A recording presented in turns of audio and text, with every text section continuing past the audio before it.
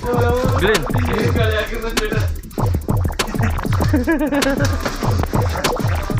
Prasad, Prasad.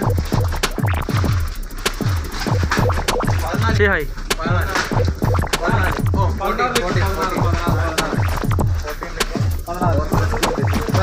Hello പതിനാറോ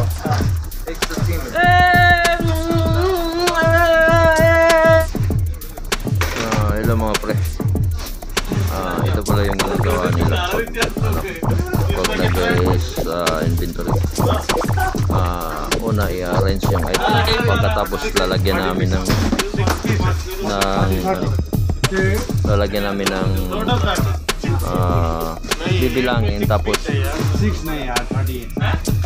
bibilangin tapos ah, lalagyan namin ng ganito kung magkano ilan yung bilang. Saka yan mamaya i-scan pagkatapos. Ah marmo merchandise yan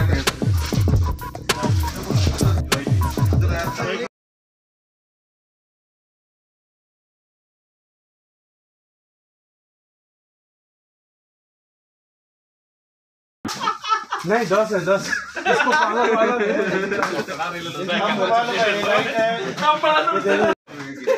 നമ്മളെ റോണ്ടി വളരെ super ചങ്ങായാണ് welcome to Kerala okay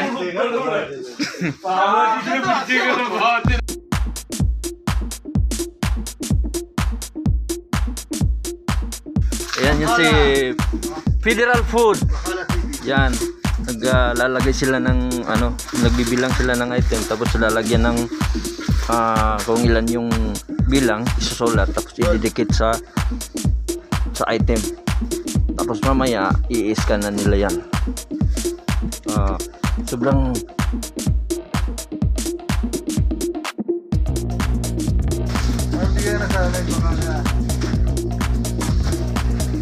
Buwan! Hi, Buwan!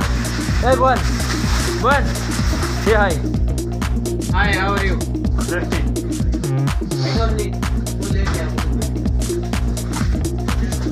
So ito guys, ah, ito mga pre, ah, ito lang ganito kalaki yung freezer parang isang bahay ayan si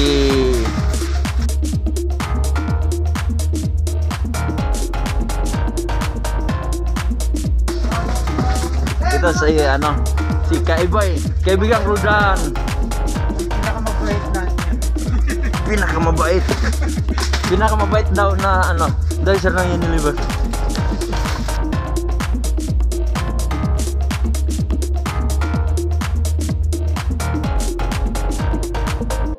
So, tapos na kami magbilang. Ang gagawin ngayon is uh, susulatan yung may SR serial number. Sulatan ng serial number.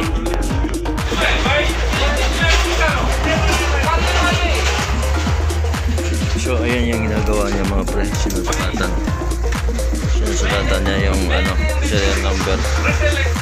Ayan. Ayan. Ito yung serial number. Hindi malito pag bilang mamaya pag-scan. Kung may correction siya man, may correction man siya, madali siyang hanapin. Yan. Yan mga pre, nagsisimula na silang mag-scan. So, yung papel na yan, yung nasa puti na malaki, yung puti, yan po yung tinatawag nilang zone tag. So, naka-indicate dyan kung ah, ilang sticker ang sakop ng suntag na yan. Kung hanggang 1 to, wala, isang daan. So, sulat yan hanggang 1 to 100. Tulad nito, 1 to 100, 172, to 1 to 100 to 1. So, ayan. So, i-scan yan. Ah, lahat kasi ng mga sticker na yan may serial number from 1 to ibig sabihin hanggang 72. So, hanggang dito yun, hanggang dulo. Hanggang 72 sama 72. 62. So, ito sa baba yun. Hanggang dun sa baba. So, itong isang block, iba na naman yung zone tag dito. May ibang tag na naman. So, i-scan niya from 1 to 172. So, dapat yung pagka-scan niya ay sunod-sunod based sa serial number para hindi malito. Kasi kung mamaya kasi pagkatapos yan i-scan, uh, i-send na sa system. So, mag-generate na yan doon. Doon malalam, lalabas yung papel na ano, lalabas yung printout. Pagkalabas ng printout, may ibang team naman na magko-control. So, ang tawag ng control nila, control. So, yung mga mga team na yun, yun yung true bayan na sa ano sa kung ano yung na-print. So, i-check nila yon uh, magbibase pa rin sila doon sa sticker serial number.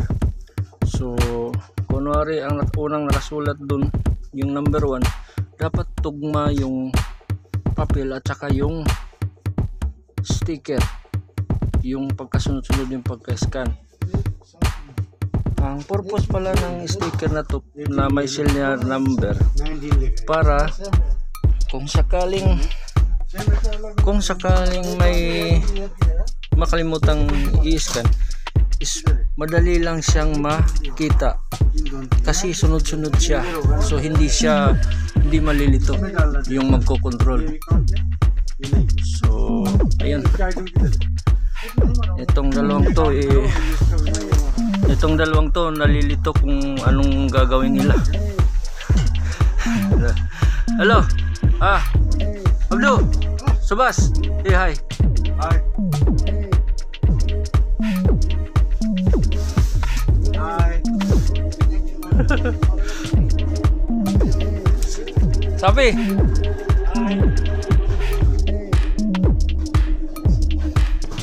Nipali. Nipali Nipali ho So ayan na mga pre um, ang ginagawa niya is ano ah, nagko-control so ang tamang proseso is uh, i-check niya yung ah, mga i-check niya yung bali nagbibis siya sa sticker.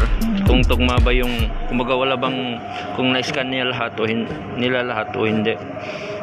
Kasi minsan kasi hindi may mga nakaligtaan na i-scan. Tsaka hindi tugma yung quantity sa item. Tsaka doon sa papel na hawak niya. So kinokorek nila yon tulad tulad tulad tulad niyan tulad ng ginawa niya tulad ng ginawa niya ah, ayan yan So ito ito mga pre ah, ito yung control na ginagawa nila. So medyo nalilito kasi nga hindi makatugma yung yung sticker saka yung papel. Kaya ayan medyo natagalan. Ito yung sigurado itong magkakaroon ng correction. So mahirap kasi siyang bilangin kasi yung mga ang mga item is ang maliliit yung mga item. So kaya siguradong malilito sila. Ah, ito yung area na laging nahuhuli talaga pagka ah, pagdating sa inventory. Kasi nga sa dami ng item ayun minsan nalilito yung magbibilang at saka yung mag-scan kaya ngayon nahihirapan silang i-control yung ano parang matagal-tagal pa to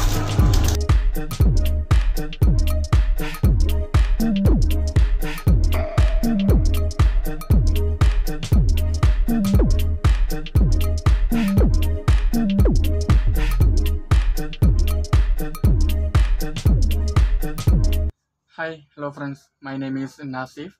I'm coming from India. This Rondi YouTube channel, please like and subscribe.